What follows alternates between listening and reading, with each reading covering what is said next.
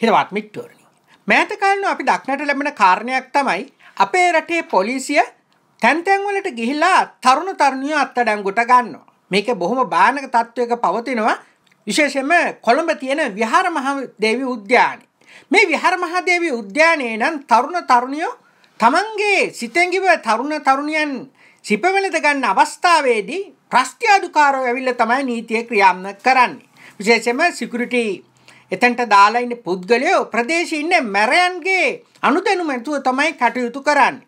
ඒ වගේම තමයි පහුගිය දවස්වල අපි දැක්කා අනුරාධපුර ප්‍රදේශයේ මේ විදිහට වැටලීම් කරලා තරුණ තරුණියන් අත්අඩංගුවට ගත්තා. මිත්‍රෝනි පොලිසියට මේ ආකාරයට හැසිරෙන්න කිසිදු නෛතික බලයක් නැහැ.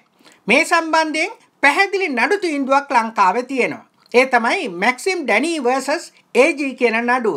ඒ කියන්නේ නීතිපතිවරයාට එරෙහිව මැක්සිම් ඩැනී පැවරපු නඩුව. මැක්සිම් ඩැනී කියලා කියන්නේ විශේෂම මීගමු ප්‍රදේශයේ හිටපු රියදුරේ.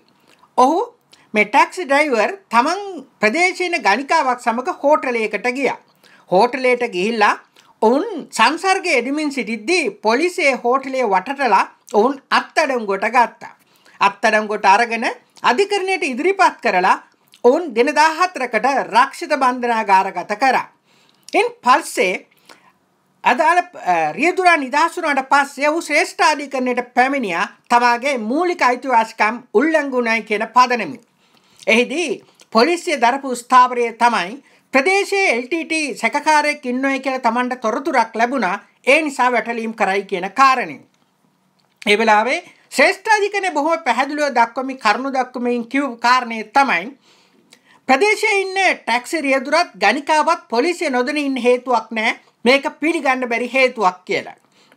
ඉන් පස්සේ පොලිසිය අධිකරණයට කියා හිටියා ප්‍රදේශයේ සදාචාර විරෝධී වැඩ කටයුතු සිද්ධ වෙනවා ඒක හින්දා වැටලීම් කරයි කියන කාරණේ.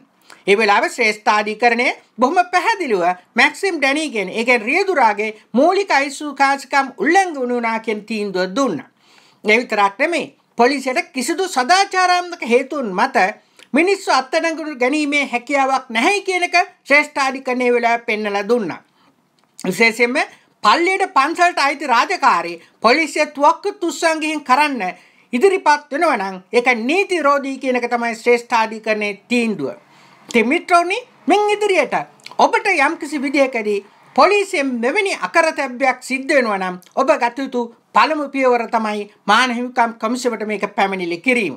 ඒ වගේම ඔබට හැකිනම් ශ්‍රේෂ්ඨාධිකරණයට යාමත් අත්‍යවශ්‍ය වෙලා තිබෙනවා. මොකද අපි නීතිය ඉදිරියේ නීතිමය රැකවරණය නොඉල්ලන තාක් කලක් අපට ඒක ලැබෙන්නේ නැහැ. මිත්‍රෝනි අරගලේතර ජයග්‍රහණයක් නොමිති බව ඔබට සිහිපත් කරමින් මා ඔබෙන් සමුගන්න.